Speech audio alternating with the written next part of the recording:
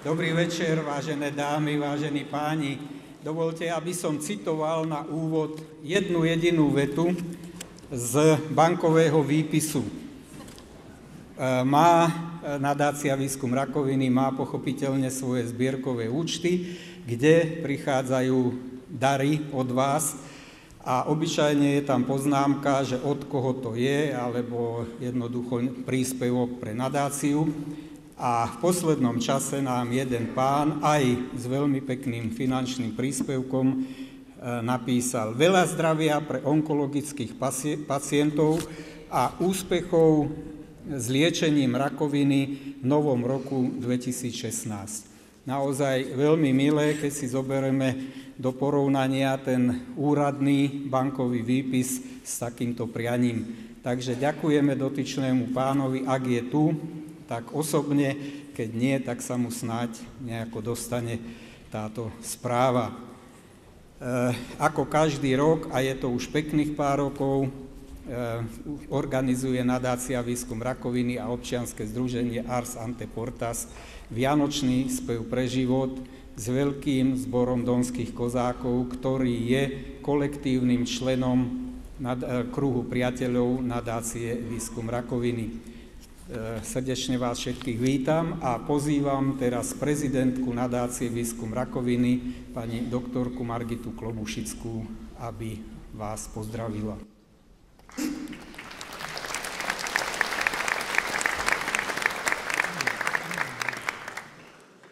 Prajem vám všetkým krásne popoludne.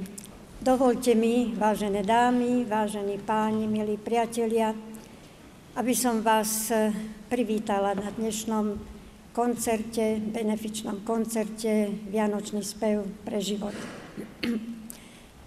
Tento tradičný koncert je vlastne poďakovaním verejnosti a vám samozrejme všetkým za vašu dôveru, za morálnu podporu a samozrejme aj za finančnú podporu.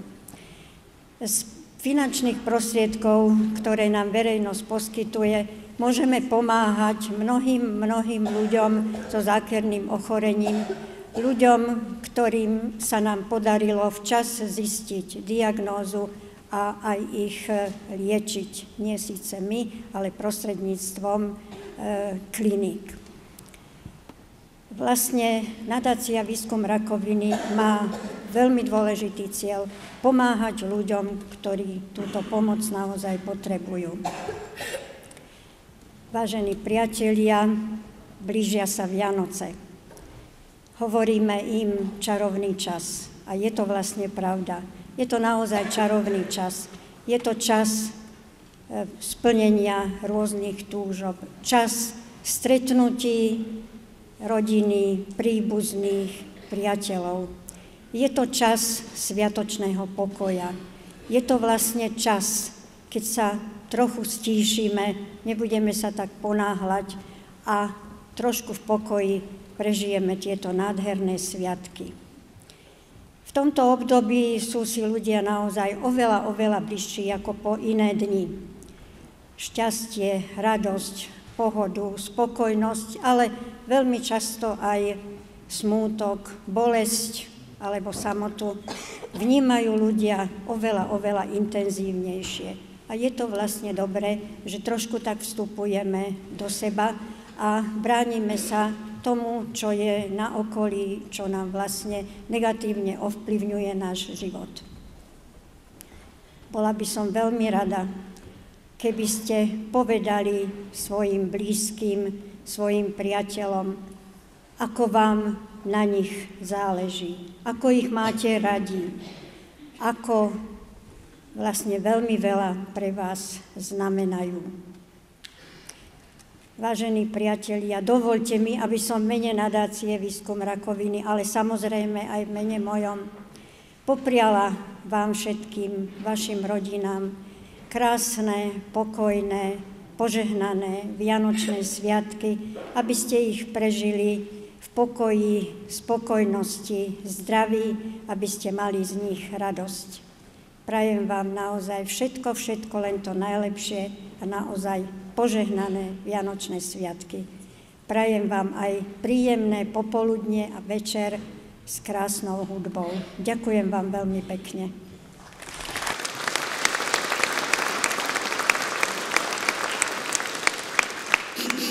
Ďakujem pekne pani prezidentke a teraz už prosím nebeských anielov, aby nám doviedli nebeské hlasy donských kozákov.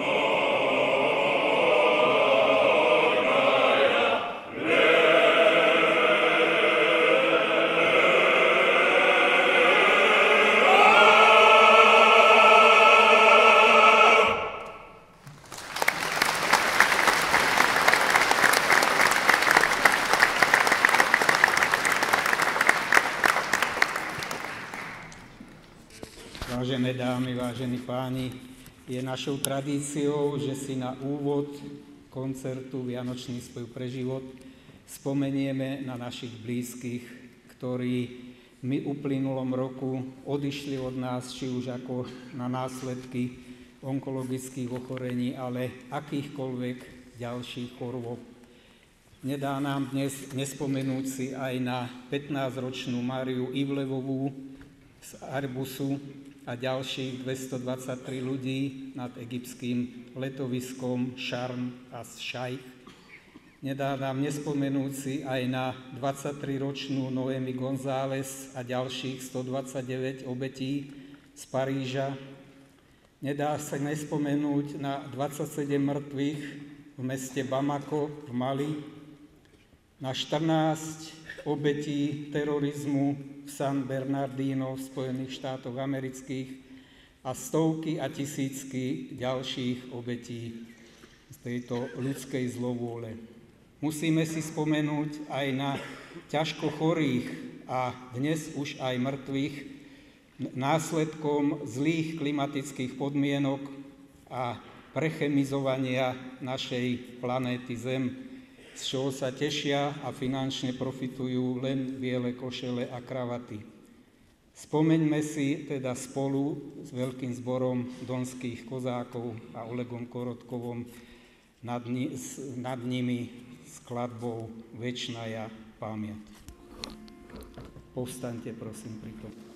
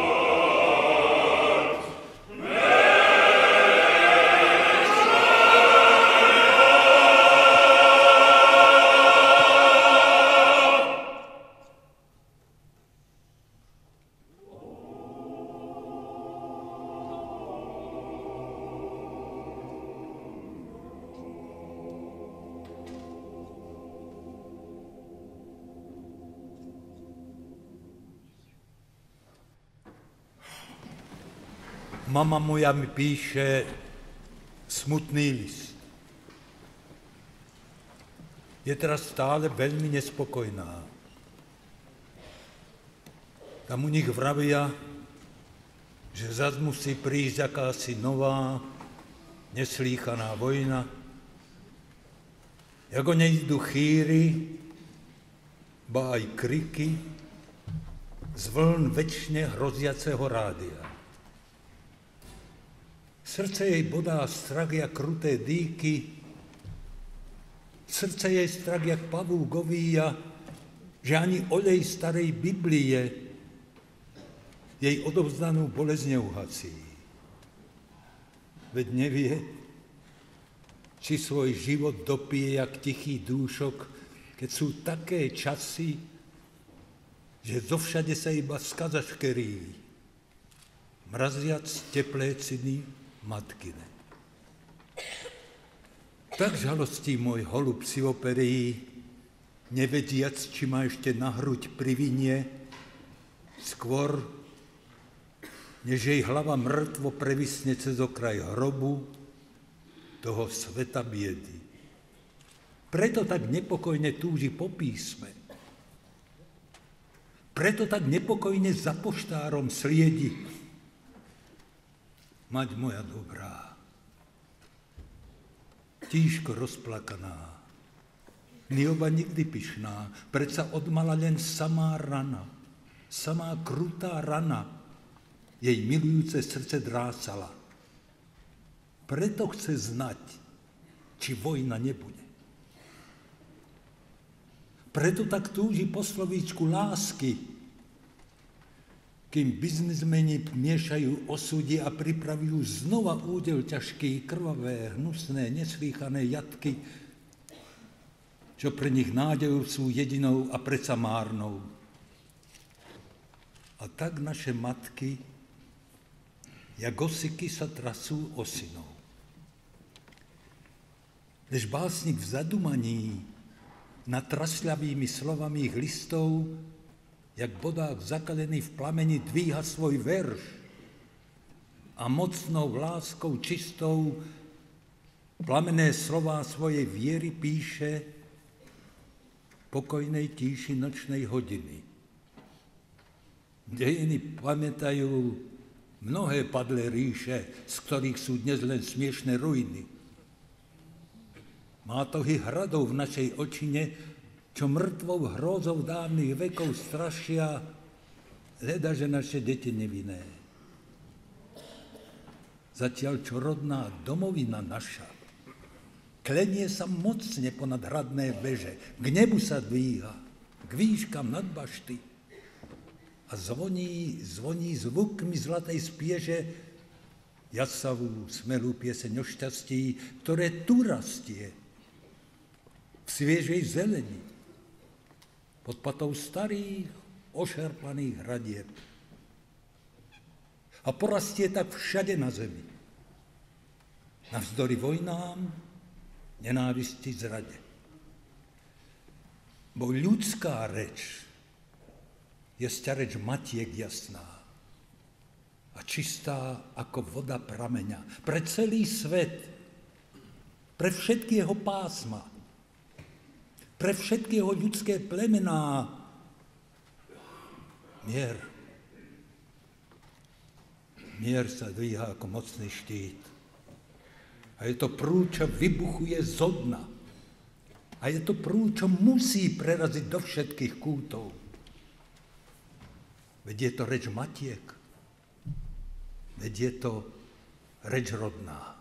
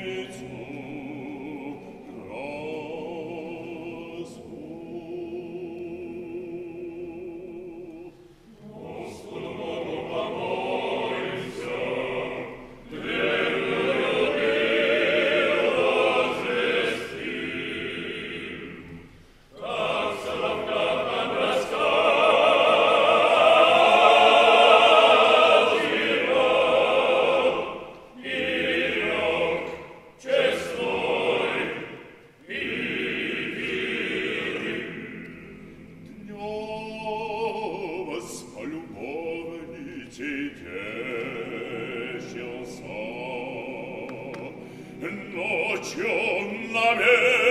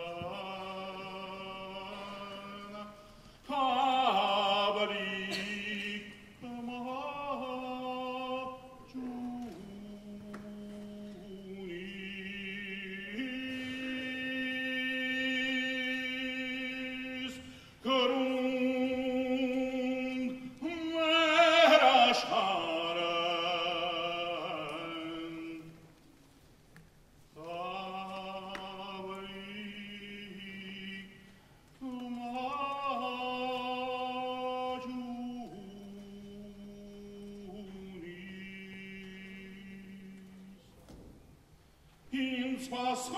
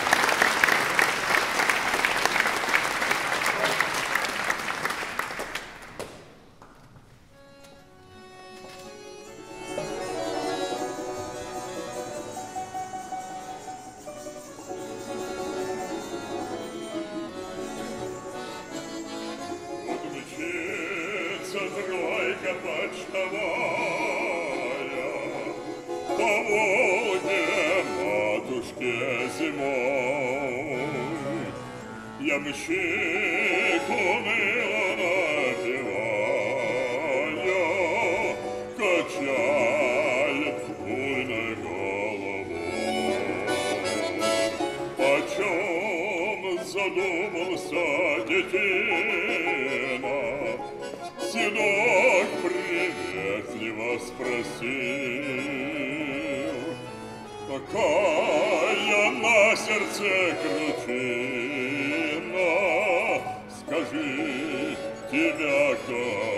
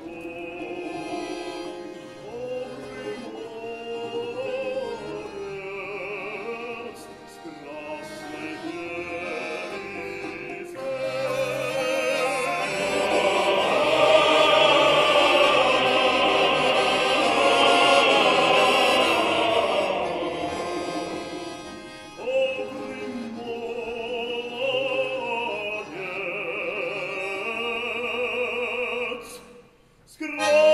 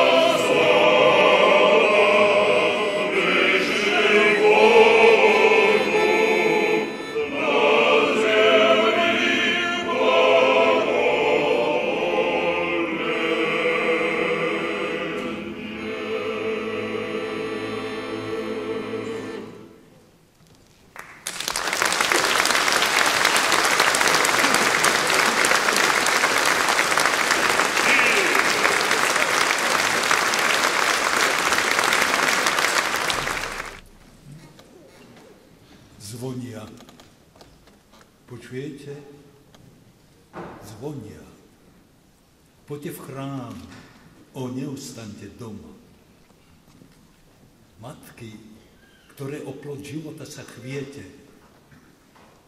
manželky, vy, ktoré noci preplačete, deti, čo tak bdiete v tvrdom vyčkávaní, aj vy starci, aj vy milujúce pany, poďte všetci. Hľa už na oltári voskovice horia, lebo sprchne rosou aj dnes radosť z hora do srdc, do tých vašich ubodených duší. A tá naplní hruď mierom, nerozruší. Poďte všetci.